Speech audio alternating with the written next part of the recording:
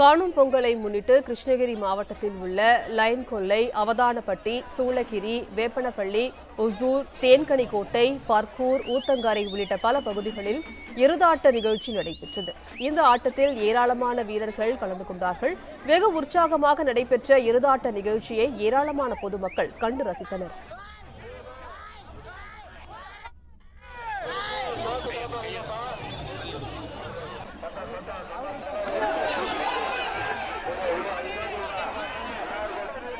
உண்மை செய்திகளை உங்கள் கண்முன் கொண்டு வரும் காவிரி நியூஸின் யூடியூப் சேனலை சப்ஸ்கிரைப் செய்யுங்கள். நொடிக்கு நொடி நாட்டு நடப்புகளை தெரிந்து கொள்ள Kaveri news dot TV Facebook Instagram Twitter போன்ற சமூக வலைதள பக்கங்களோடு எப்போதும் இணைந்திருங்கள்.